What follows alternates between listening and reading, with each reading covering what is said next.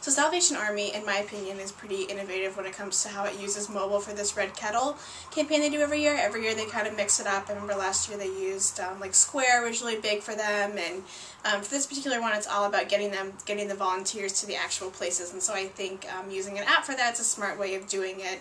They're promoting it with a donation from U.S. Bank, so there is um, you know some promotion and uh, and a, um, an initiative for someone to download an app, which I think is great.